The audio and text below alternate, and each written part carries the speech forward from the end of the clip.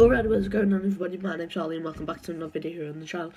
And today I'm going to be discussing Payday 2 and if you haven't already seen my car shop video, you'll know that um, I reset my progress and I'm not going to reset it again until I get to level 100 again, but I'm going to get to level 100, play with it for a bit, and then I'm going to reset it.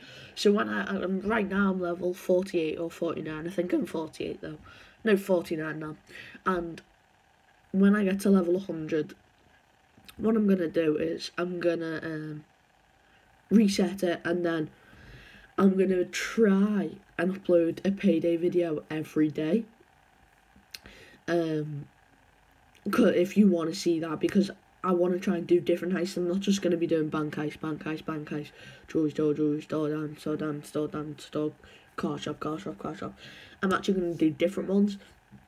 And in the comment section below, leave some suggestions of what missions you want me to do. So, say the mission and then loud or quiet. Um, this mission sounds quiet. Obviously, if it is a stealth only mission, I will not be able to do it.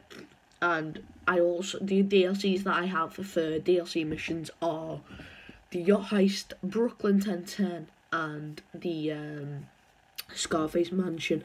So if you want to see that, make sure to like and subscribe and comment down below along with your heist that you'd like me to do next. Um, I might try and do a video later today, but if it's not, then yeah, I'm sorry, but I, I'm, I'm trying to make sure.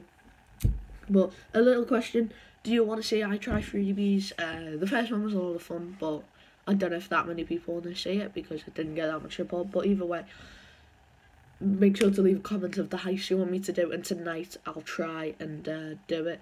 Um, I'll see if Liam will come on and if he isn't then I'll just try and do it solo but um, sorry about the last video as well. I will definitely turn the sound down for this video because I've realised it was very loud like you couldn't hear us when we were driving the car so apologies about that but yeah.